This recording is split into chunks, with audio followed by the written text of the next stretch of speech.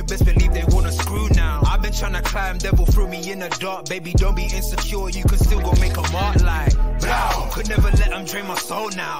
Blow. Table turning like doorknobs, wow. Blow. I think I'm about to set sail. I'm a walking, living legend, walking with my chest out. Life keep dealing me cards,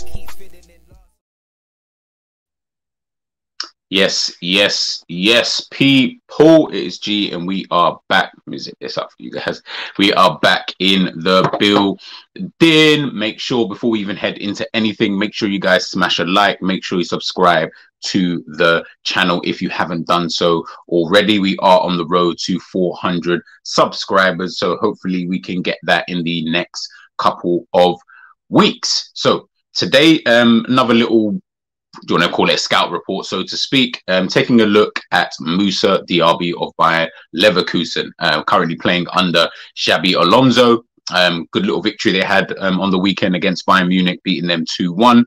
Um, very, very good display. Um, Xabi Alonso doing pretty well over there. He's doing pretty, pretty well, you know, over there, you know, and Diaby is one of the players this season who have performed decent, has performed decently well this season. Um, he's always been a player I don't actually think that Liverpool have really ever been linked with him. If I be like, I've not really seen reports like that, confirmed reports anyway, that Liverpool have ever really been linked with a player like Moussa Diaby. But Liverpool fans seem to always want Diaby, um, and I think it's because we want him to almost be that Salah successor, uh, someone to come in and challenge Salah. Um, I know a lot of people think, you know, someone like a Diaby, will he come into the squad? Will he be a player who doesn't mind being a bit of a a bit of a bench player, so to speak? You know, someone who can just kind of rotate with a Salah and stuff like that. I mean, personally, I feel that especially with the way that Liverpool's attack is. Me personally, I, I, in the summer, you know, if Liverpool really, obviously, this comes down to FSG and how much money they really want to give Klopp to kind of spend. But if Liverpool is serious and they and they really want to start making a mark and putting making statements, so to speak, that, that that's probably the best way to put it. Making statement signings, he would definitely be one. I would be looking at that and saying, yeah, bring him in, bring him in. You're letting Firmino go anyway. I mean, you're going to have the six attackers regardless, so bring him in, bring him in, and have that real quality. Someone who can play both left and right wing. You know, as we see here, with his positioning. You know, he's played right wing, he's played left wing, he can play attacking midfield, he can play as almost like a second striker, you know, within the team. So I think that someone with these kind of qualities, he's got bloody hell. The bags of pace that this brother has got is crazy, absolutely crazy. And I think that would potentially fit into what Liverpool are trying to do. Now, we do have this thing here at Liverpool Football Club when it does come to, especially when it comes to like a player like Mo Salah, you know, and we think about this when we think about potentially signing players who could, who should be starting, you know, uh, in most teams. We always think, you know, will will Salah like the fact that we're getting in a Moussa Diaby because it's going to be someone who's going to threaten his place? Will Van Dijk or Konate like the fact that Liverpool might sign a Gvardiol or uh, a Kim Min Jae, for example, because those are players who probably would start in 95% of teams. So does that mean that they, you know, it, it's all about how Jurgen Klopp manages the team. Now, I know Klopp is someone. This is why I don't think. I mean, not many managers can, to be fair. So I'm not going to just put this on Klopp, but this is why I don't think Klopp can manage like a big, big team like a uh, you know, like a Real Madrid or a PSG or a team with big with a lot of big egos because I, I think that I don't think he does well with trying to handle egos in a general sense.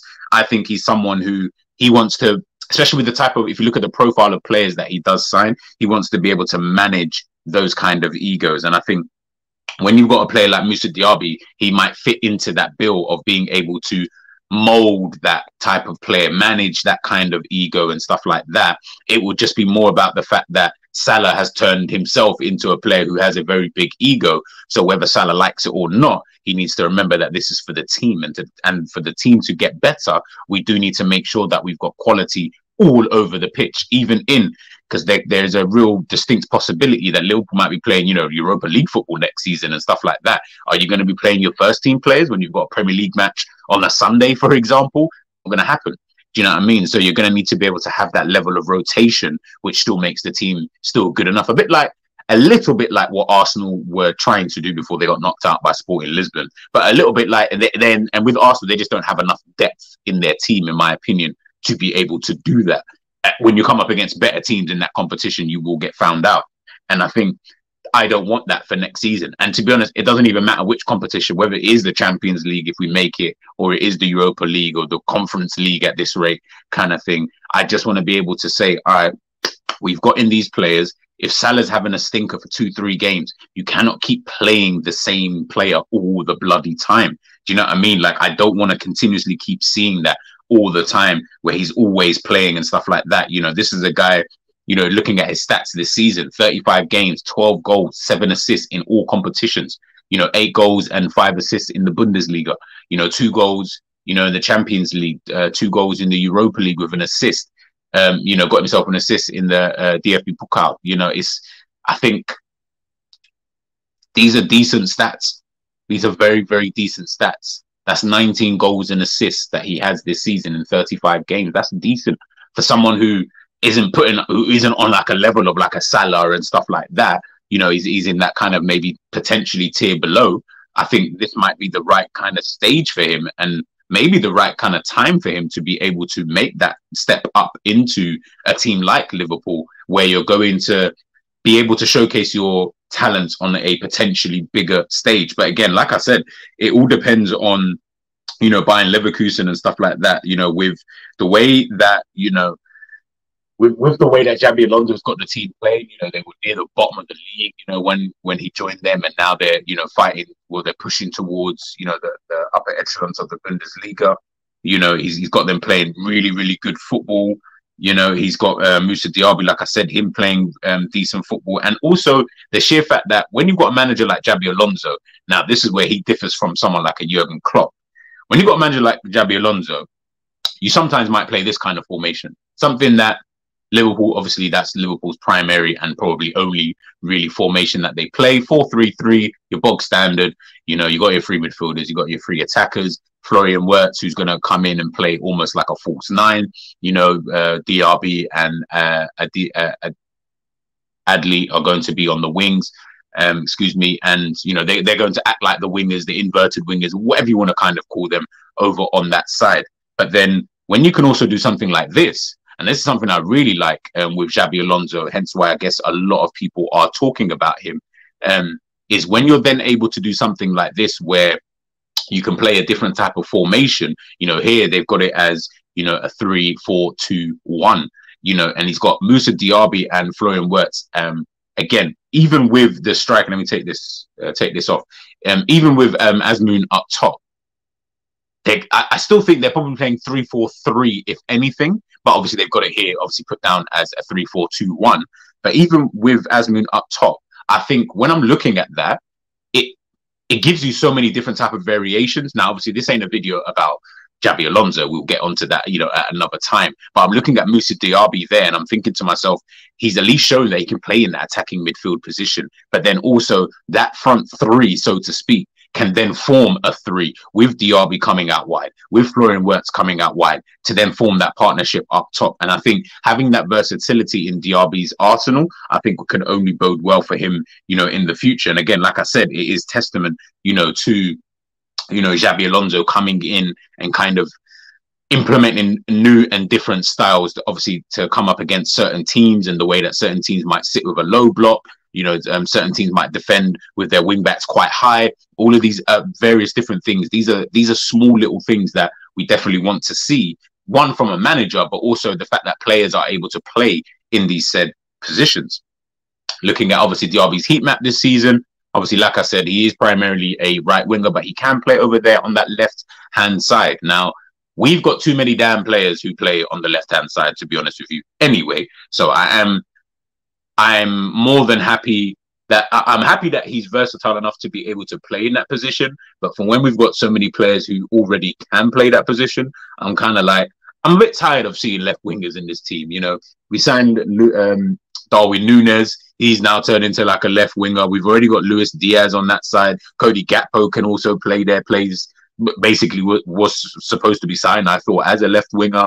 You know, Diego Jota can also play there as well. We seem to have uh, so many left wingers or players who play on that left hand side. And I don't think we've got really any who can play on that right hand side. You've really got Mo, and then it goes down to Harvey Elliott, and then it goes down to Ben Doak or Kai Gordon. You know, you're looking at those kind of that kind of quality on that right hand side, and I just don't think it's going to be enough for Liverpool moving forward to have that level of quality you know, down that kind of side. And I think that's one of the reasons as to why I'm looking at someone like a Moussa Diaby, you know, someone who can play in that position, someone who I think kind of replicates the same kind of attributes that a Mo Salah, you know, has. And if you look here at Mo Salah versus, you know, um, Moussa Diaby from this season, you know, I'll take this take this off for you guys you know, I'm looking at certain attributes here and I'm looking at certain statistics here. You know, he's got a better shot accuracy this season. He's got a better conversion rate than Mo this season. You know, crosses completed, uh, cross accuracy. Mo's got that. But look at the crosses completed 71 in comparison to 18, you know, from, you know, from Mo, from Mo this season. Now, obviously, again, the type of player that Mo is and the way that Mo plays, he isn't the type of winger who's going to be running down the wing and obviously putting balls in, you know, so uh, pause, uh, so to speak.